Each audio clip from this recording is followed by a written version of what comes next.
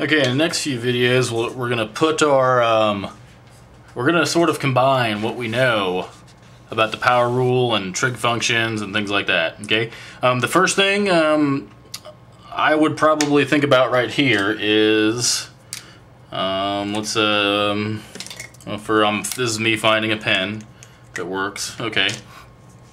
Okay, the best way to do this, especially when first starting out, and I don't know if you, that's a three if you can't read that, um, the best way to do this is just to break this down and, and integrate it term by term, and we add them all together, okay? So if I do that, okay, um, well, what, what would I get? I'd get one fifth, okay, and, and I need to put my dx inside. Then I'm going to subtract the integral of 2 over x to the third.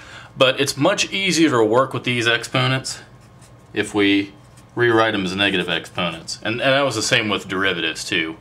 Um, I think it's easier to visualize what's actually going on in this fractional form. They're always easy to work with in their uh, exponential form.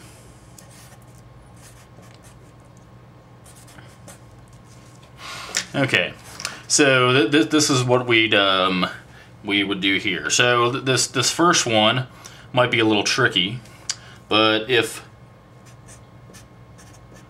if I had x over 5, if I took the derivative, it would be 1 fifth. Okay?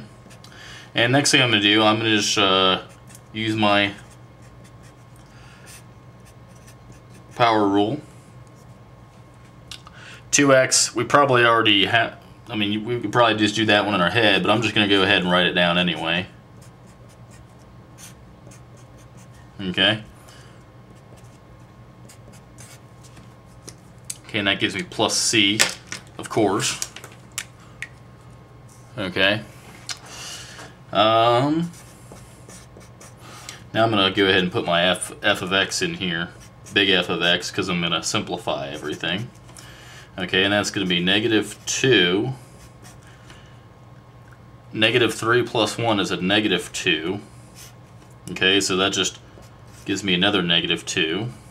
Plus 2 x squared over 2 plus c. Okay. Um, right away, I know that the 2's cancel out here, and then I have a negative divided by a negative, so that actually just turns into a positive. And it looks like these 2's are also going to cancel out. It looks like my general antiderivative is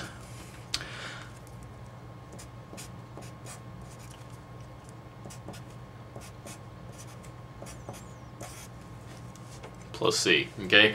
And you, I'm not going to differentiate it to check it, but you should always do that. And another thing you always might want to get in the habit of doing, notice how I stuck the uh, exponent back down into the denominator. It's customary that if your original answer, um, the exponents are written as fractions, that you would go ahead and put um, those back into their fractional form instead of using negative exponents.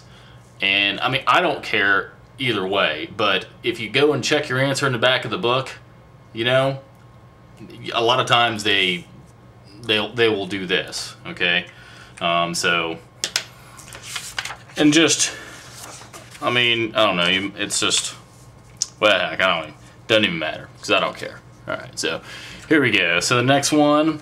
Okay, so what I'm going to do is I'm going to I'm just going to do a little work on this one. So um, I'm going to do the term by term thing again.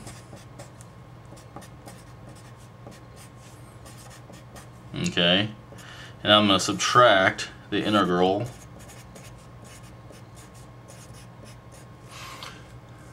Okay. So, well, we don't really have a formula for this, do we? But if you if you if you look in your and, and plus you know while you're you want to do this anyway but you know check out your table of derivatives if you don't have these memorized already. And you'll see that the derivative of secant is secant tangent. That's how and that's how I memorize the derivative of secant. Secant secant tangent. Tangent secant squared you know? So that's just um that's just kind of my little way of doing it. So um, our first term of the antiderivative Uh, the 4 stays the same. Okay, but this is just secant x. Okay.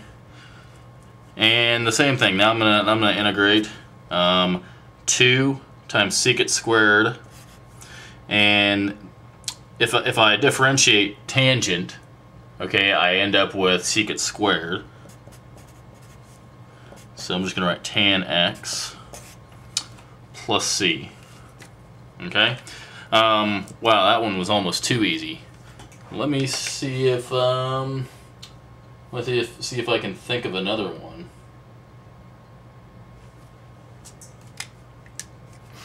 What if you had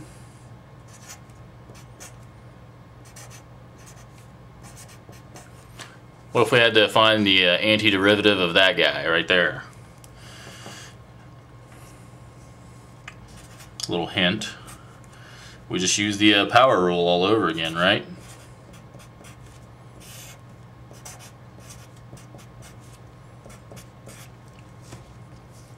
Okay. Um, this one, we I don't really know that we can simplify it any further. Uh, so it'll pretty much stay where it is. Okay. Um, tell you what. Let me um, let me think up of some more complicated ones for part four. Okay. But um, I hope you get the drift as far as you know how, how some of these ones work. Okay.